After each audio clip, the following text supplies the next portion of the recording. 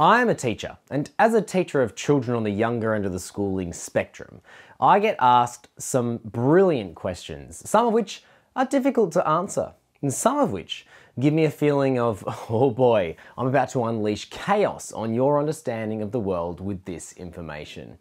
I must have been talking about fruit, as one does, and I mentioned that fruit is anything that has seeds in it, which is a rudimentary definition, I know, but for 9 and 10 year olds, it's not a bad one.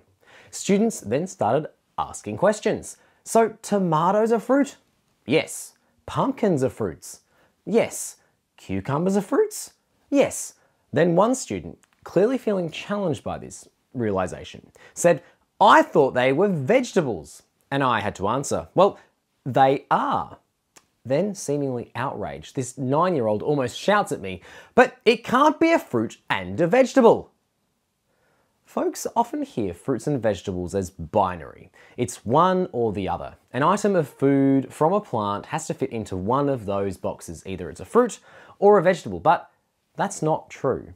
And for this young individual, this was an uncomfortable idea. Folks, this is a video in two parts. First, to answer the question of what's the difference between a fruit and a vegetable, and then, well, wait and see. First, let's get to the nuts and bolts of this. What's the difference between fruits and vegetables? That is, if there even is a difference. How can we categorize foods grown from plants? Well, for this, we need some definitions. A fruit, as defined by Britannica, is the fleshy or dry ripened ovary of a flowering plant, enclosing the seed or seeds.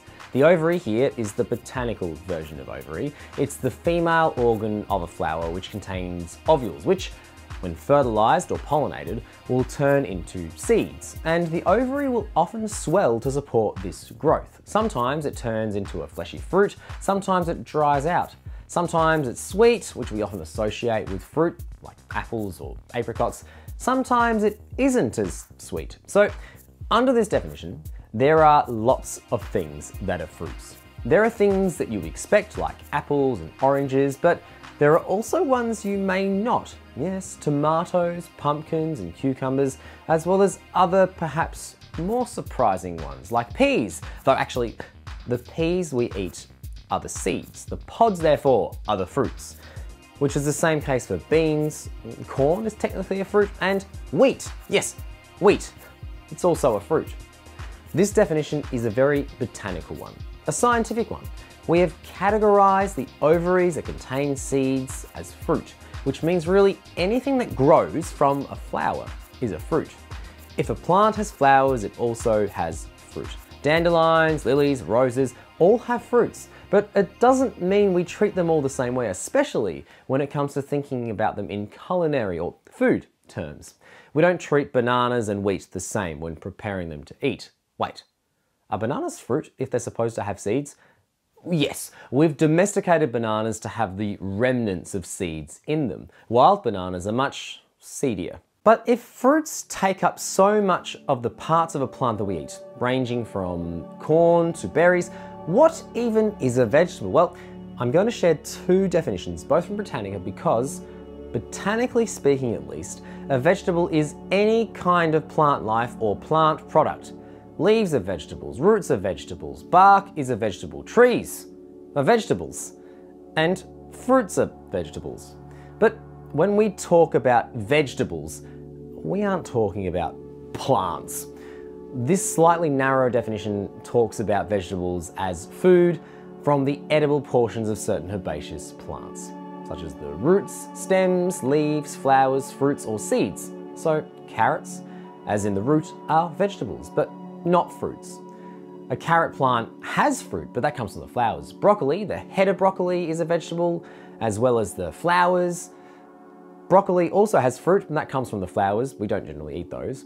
Potatoes are roots, and they therefore are vegetables. Potatoes also have flowers and fruit, but we don't really eat them either. And well, fruits are vegetables, at least botanically and scientifically speaking. If we were to draw a Venn diagram of fruits and vegetables, the entire fruit section would be within the vegetable section because all fruits are vegetables, but not all vegetables are fruit. So to answer the question, what's the difference between a fruit and a vegetable?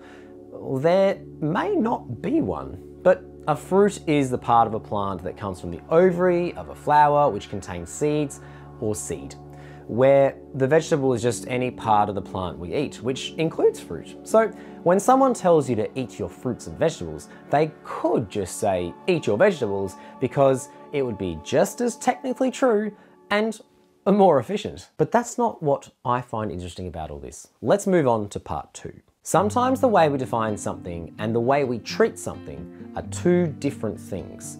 And I think that this is where the surprise comes from. It's almost uncomfortable to think of some foods as the same as other foods when we treat them very differently in practice. Watermelon is a fruit. We put it out on fruit platters, we put it in smoothies and fruit salads. Zucchini is also a fruit, but we more regularly roast, fry, or steam it. It would be extremely out of place in a fruit platter or a fruit salad. Even though it's a fruit, we treat it like it's a vegetable. This goes the other way as well. Carrot is a root, and we often treat it like a vegetable, unless we make carrot cake, in which case they're treated more like a fruit. Then there's rhubarb. We eat the stem of a rhubarb plant, so it's a vegetable, but it's almost exclusively used in sweet dishes, often alongside apples or strawberries. And while we're talking about definitions, are strawberries fruits? The seeds are on the outside? Well, yes, it's still made of the ovaries of a plant, but they aren't berries, at least botanically speaking. A berry is a single ovary fruit with a fleshy wall. Like blueberries and are berries and cranberries are berries and avocados and tomatoes and eggplants. But strawberries are instead a multiple fruit, made up of hundreds of tiny fruits that have combined together to look like one big one. Similarly, blackberries and raspberries are also multiple fruits and not true berries, even though we treat strawberries, blackberries, and raspberries as berries, putting them in pies and smoothies and so on. They're definitely fruits, but they're not berries. We better add a subcategory to fruit. There we go. And there it is, categorization. This is where I think things get interesting and where the surprise or shock or even discomfort from realizing that some things are actually defined as fruits even though we don't use them as such comes from. Let's think about concepts. The building blocks of human cognition are concepts. What we see, hear, interpret, remember, understand, and talk about is crucially shaped by our concepts. A concept is something conceived in the mind. It's thoughts, notions, ideas, things. Everything you can think of is a concept. And what humans love to do, well, at least our brains do anyway, is categorize concepts. We organize things, we order things, we find things that are similar and things that are different. We compare and contrast, we sort, we make sense of things. Our brains just do it. We love to do it. And we see it everywhere. We love to put things in boxes. We have a whole science to it as well. Taxonomy is literally the science of categorizing things. Occasionally, scientists will discuss and actually reclassify things because it turns out not to be exactly what we thought it was. We even try to categorize ourselves. We take personality tests and BuzzFeed quizzes, and that's actually a whole can of worms that I'm not going to get into now, but we'll discuss another time. We categorize things. It's a very human thing to do. One of the questions that children often ask is, what is your favorite whatever? Favorite color, favorite food, or favorite place, or favorite animal, or favorite dinosaur? We order concepts and then we pick our favorites out of those concepts. We do it from such a young age and humans are just so good at it. So when it comes to challenging our conceptions, it can be uncomfortable. Trying to work out how this new piece of information fits into our already existing understanding of the world can be uncomfortable and hard, frankly. Learning that some things that we thought of as vegetables are actually fruits is challenging. Then learning that actually all fruits are vegetables just feels a bit weird. But then also moving on and realizing that we still use many fruits like vegetables and many vegetables like fruits. Well, it's all pretty complex. Yes, there are definitions, but things don't always act in ways we would expect them to based on those definitions. And I think that's pretty cool. Humans are really good at categorizing things, and it's hard to fit information that challenges our view of the world into our minds. It's work, but I think the work is worth it because we come away not just by having a greater sense of what is right, but with a greater appreciation for the complexities of the world around us. The world is wonderful and complex. It's a place full of things that don't act like other things that we've categorized them with. And I think that's kind of beautiful. We categorize things because that's how we make sense of the world. But the world doesn't really care about our sense of organization. It's messy and beautiful and that's wonderful. I think it's important to change our understanding of the world as new information comes our way.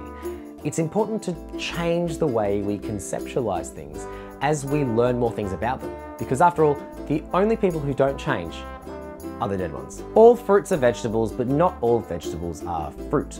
And we love to categorize things. If you enjoyed this video, there might be some others in that category, and I encourage you to check out my other videos and subscribe to That's Pretty Cool for more. I love to delve into topics and questions that fill me with a sense of curiosity and wonder.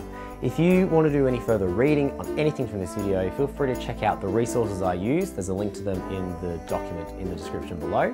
Thanks again for watching. Take care, stay curious, and I'll see you next time.